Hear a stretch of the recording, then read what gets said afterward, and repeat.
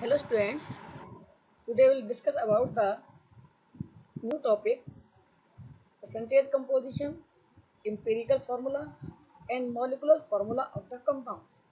How we can find out the percentage of each of the element in the compound and empirical formula and molecular formula of the compound on the basis of the experimental observations.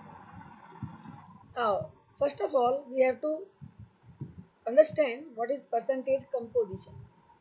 आपने देखा होगा जब भी आपके exam होते हैं normally आपको पता पूछा जाता है कितनी परसेंटेज मार्क्स की है तो आप क्या करते हैं टोटल मार्क्स में से आपके इतने मार्क्स आए जो भी हैं और हंड्रेड में से कितने आएँगे इस तरह से आप निकाल के बताते हैं तो in the same way the percentage composition of elements can be found and it is the mass of an element in 100 gram of a compound we know that if we know molar mass of the elements in the compounds a molecular formula and molecular mass of the compounds it's very easy to calculate the percentage composition mass percentage of an element is equal to mass of that element in compound divided by molecular mass into 100.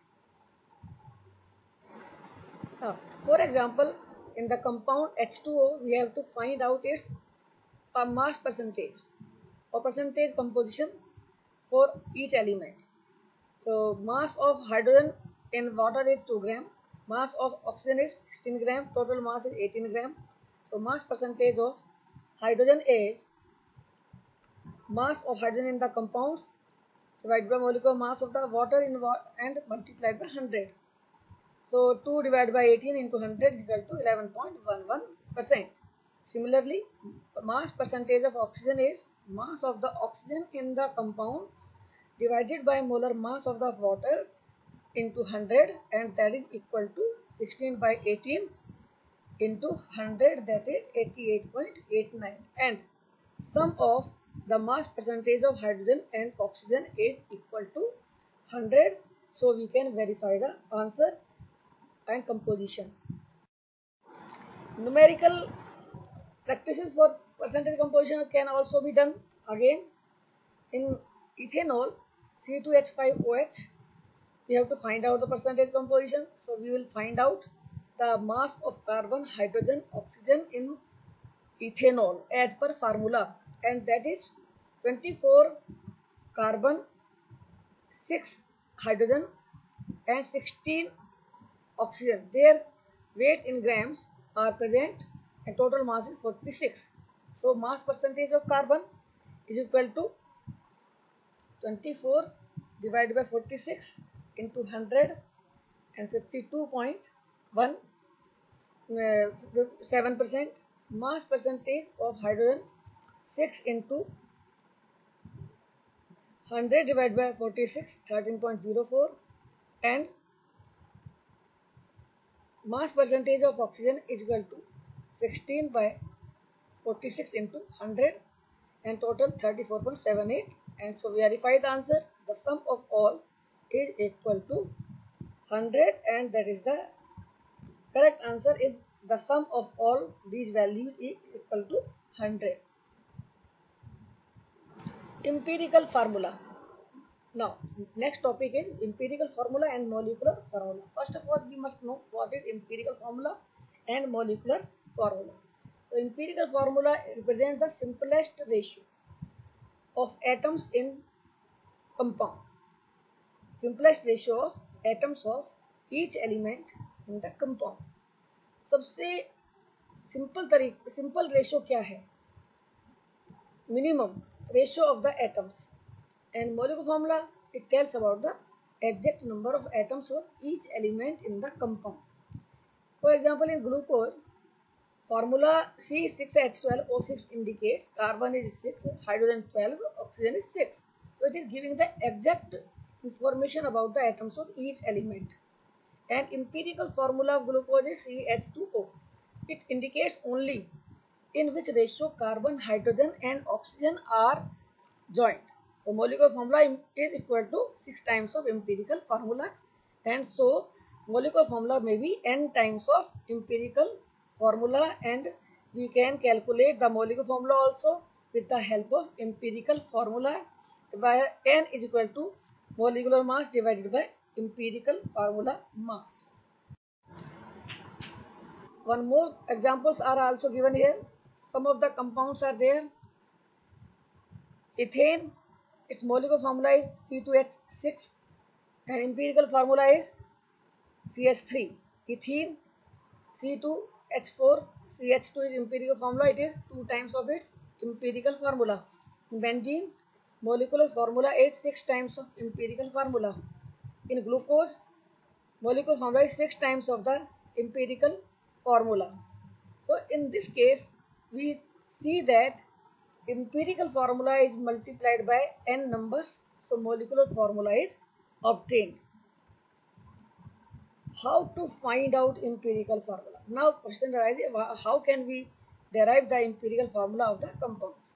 So for it, we must know the atomic mass, mass percentage of each element in the compound and empirical formula can be calculated. Molecular formula can be obtained if molecular mass of the compound is known. So these are the main conditions we must, must have to find out the empirical formula and molecular formula and we can derive the correct relation between the two. Now, how to find out we can explain with one example.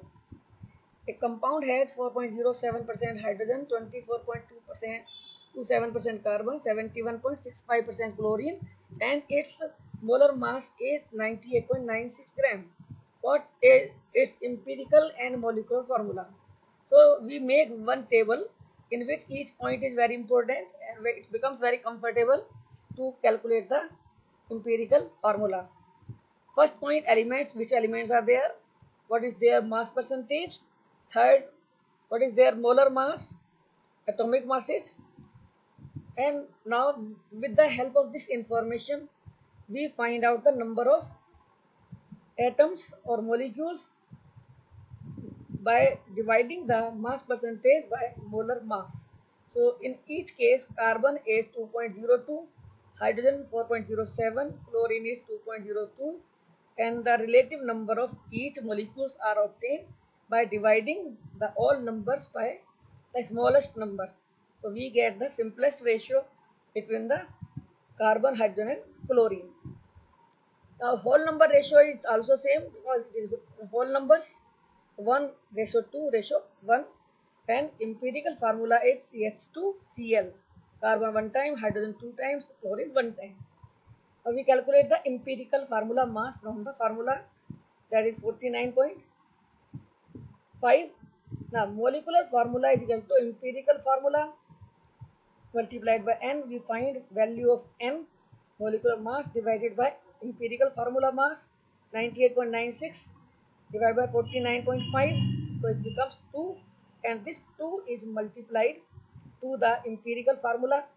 So it becomes molecular formula becomes C2H4Cl2 one more example.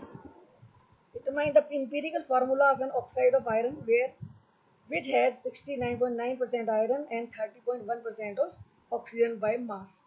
And molecular mass is given 160.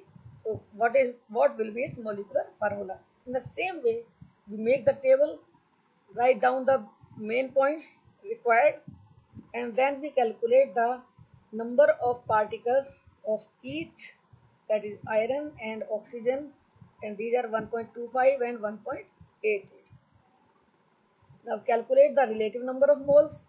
So again same problem, same practice. Both of the numbers are divided by the minimum number that is 1.25 and value is 1 ratio 1.5. Very important thing is there it is 1.5 means the ratio is in fractions. So we have to complete it in whole numbers.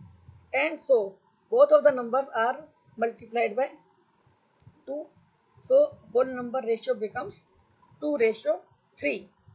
Empirical formula is equal to Fe2O3 and its mass is calculated. That is empirical formula mass 159.5 and molecular mass is already given 160 so we calculate the value of n by the formula.